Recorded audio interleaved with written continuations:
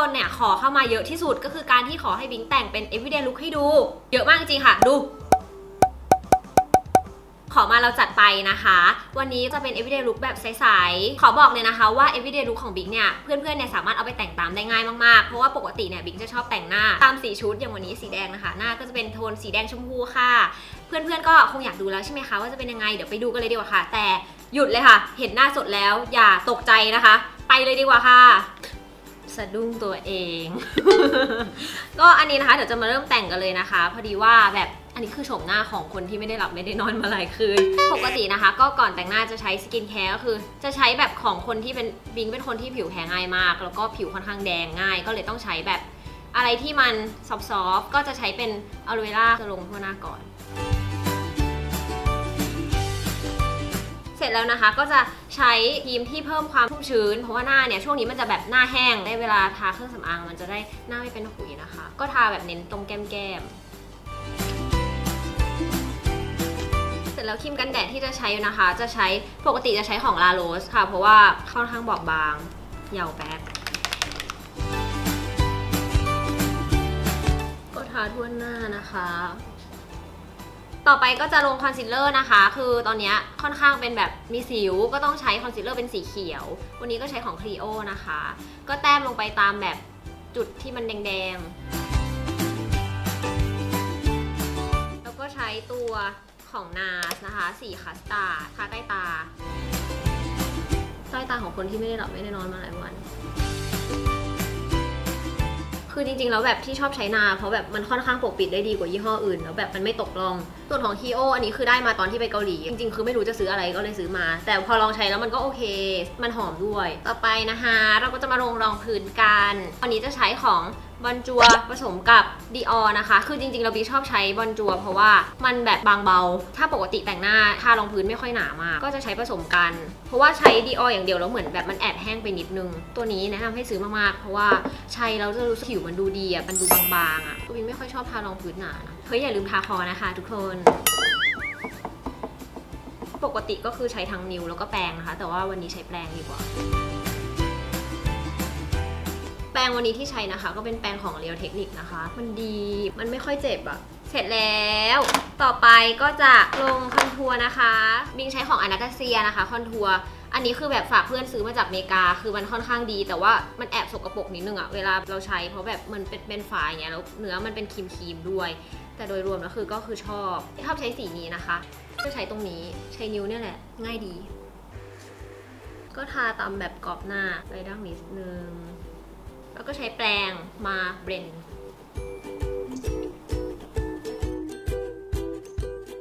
ต่อไปนะคะเราก็จะมาเขียนคิ้วกันบีใช้ที่เขียนคิ้วของ e 2 d อันนี้คือซื้อมาจากเกาหลี มันเป็นรุ่นที่แบบมี 2 หัว คือมันดีตรงที่ว่าแบบหัวหนึ่งคือเอาไว้แบบเขียนโครงแล้วอีกหัวหนึ่งก็เป็นฝุ่นฝุ่นอะเออเลิศเวอร์ก็เขียนโครงก่อนนะคะ คือจริงๆบิงก็เคยสักคิ้วมาแล้ว มันก็เลยกลายเป็นสีแดง ใครที่จะไปสักคิ้วก็คิดดีๆนะคิดคิดว่าเขียนเอาเองง่ายกว่าเยอะ เขียนโครงเสร็จเราก็ใช้อีกด้านหนึ่งนะคะ เป็นแบบนี้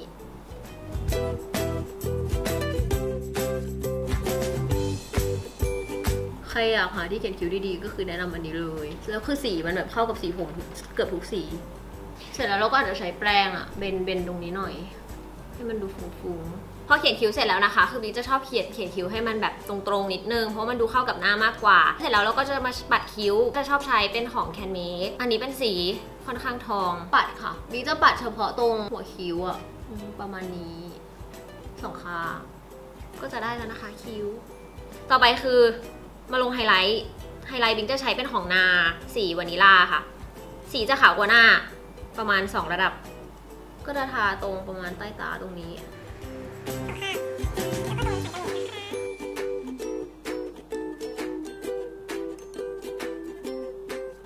จากว่าแปรงคือหาไม่เจอค่ะใช้มือแทนค่ะ จริง ๆ ใช้มือมันก็ง่ายเหมือนกันแหละทาให้มันแบบตรงเนี้ยเป็นสามเหลี่ยมนี้พอลงเสร็จแล้วนะคะ ต่อไปปัดแก้มดีกว่า วันนี้จะใช้ e 2 d ค่ะ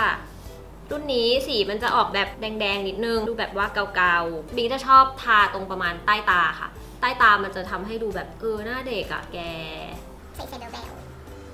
ก็ทาประมาณตรงตำแหน่งตรงเนี้ยค่ะสองข้างสีนี้น่ารักมาก สีเบอร์ 16 ค่ะ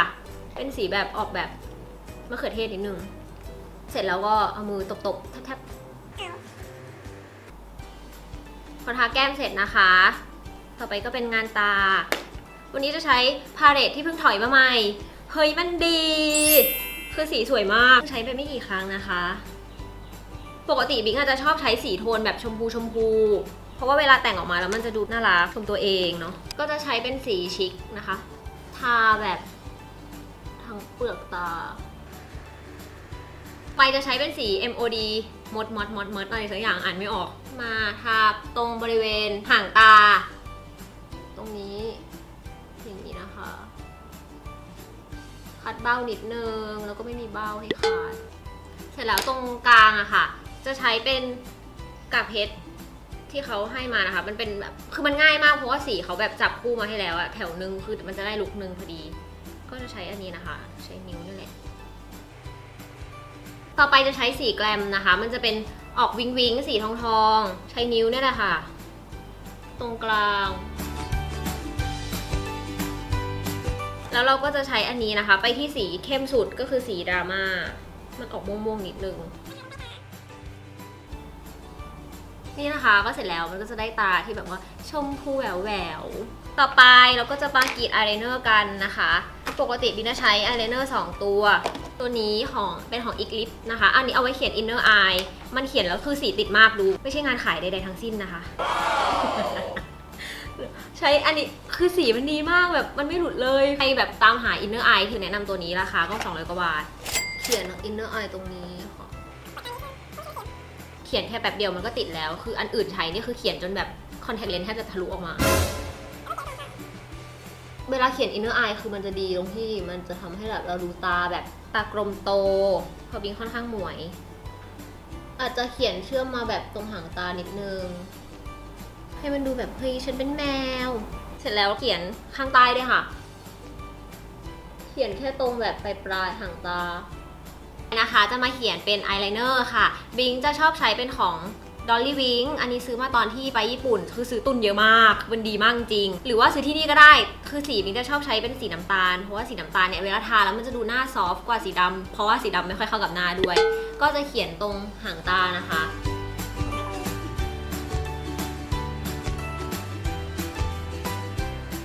เสร็จแล้วก็มาเก็บรายละเอียดนิดนึง วันนี้แต่งหน้าสีแดงใช่ไหมคะ อันนี้ก็จะใช้เป็น อายแชโดว์ของ TCE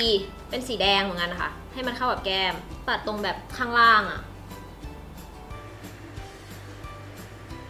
สีนี้เข้มมากแบบทาเยอะมากแล้วมันจะแบบแดงเกิน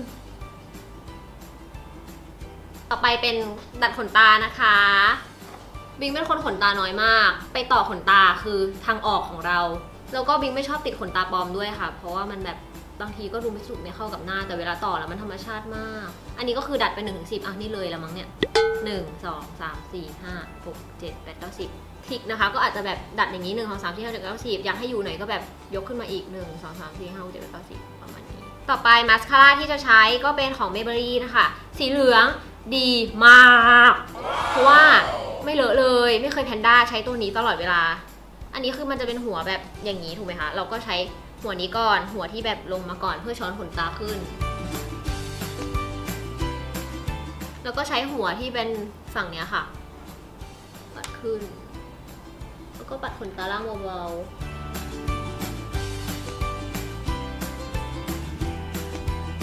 ต่อไปเป็นลิปนะคะ ปกติเนี่ยจะใช้ หลายยี่ห้อ แต่ว่าวันนี้จะใช้ของ Color Pop เป็นสีบัมเบิลคือสีเนี้ยน่ารักมาก มันจะออกส้มๆ ทาแล้วดูแบบเฮ้ยดีอะ เดี๋ยวจะลองทาที่แขนให้ดู มันจะเป็นสีประมาณนี้ แต่เวลาบิงทาบิงจะไม่ชอบทาให้มันเต็มปากอะเพราะแบบรู้สึกว่าไม่ค่อยเข้าบิงจะทาแค่ตรงข้างข้างในอย่างเงี้ยค่ะ ทาประมาณนี้ แล้วก็แท็บแท็บแท็บเอาอะ ให้มันเลยๆหน่อยดูเบลอๆเหมือนสาวเกา มันจะได้แบบไม่แห้งเกินไปด้วยเพราะว่ายี่ห้อนี้มันค่อนข้างแห้งมากๆ เสร็จแล้วใช่ไหมคะบิงก็จะใช้เป็นสีเข้มกว่า 1 ระดับ อันนี้จะใช้เป็นของ TCE สี 909 จะเป็นสีแดงเข้มๆ ประมาณนี้ค่ะ แล้วก็ทาข้างในอะค่ะ มันก็จะดูปากอิ่มสุดท้ายค่ะ เป็นของเล่นใหม่เพิ่งฝากคนซื้อมาจากเกาหลี เป็นมิชชาลิป เป็นเหมือนเจลลี่ตินอะบิงจะชอบทาไว้ให้ดูปากแบบอวบอิ่มสุขภาพดี เป็นคนจริงจังกับเรื่องปากมาก ก็ทาข้างในเหมือนกันค่ะ เสร็จแล้วสุดท้ายแล้วก็คือจะทาแป้งนะคะ ไม่มีการไฮไลท์อะไรทั้งนั้น ปกติบิงก็ไม่ค่อยชอบทาแป้งแต่ว่าบางทีก็ทาเพราะเป็นคนหน้ามันด้วย แต่บางทีหน้าแห้งก็ไม่จำเป็นต้องทาก็ได้ วันนี้จะใช้เป็นของชิเซโดนะคะ อันนี้ก็ราคาน่ารักมากประมาณไม่ถึงร้อยอะซื้อมาจากญี่ปุ่นทาไปเฉพาะแค่ตรงแบบใต้ตา แล้วก็ตรงสันจมูกที่มันมันๆแล้วก็คาง